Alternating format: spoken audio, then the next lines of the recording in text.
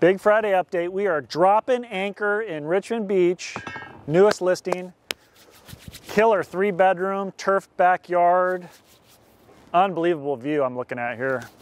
Mountains, just a stone's throw from the Cabin Tavern. Huge garage. Come check us out. Going to be open this weekend. What do we do?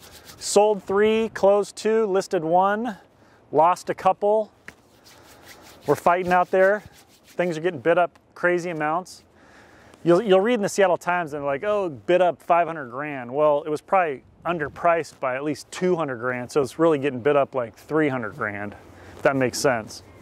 It's not all, it's not as crazy as, it's crazy, but it's not, some of these numbers are a little inflated. What else? Market's choppy, Amazon's up, Amazon's rocking, Facebook's getting slaughtered. Richmond Beach, food tip, used to be Hills, now it's called Blackbird. I'm going Blackbird hamburger. Really good hamburger. Put barbecue sauce on it. I think cooked kind of medium rare. Blackbird hamburger. See you next week.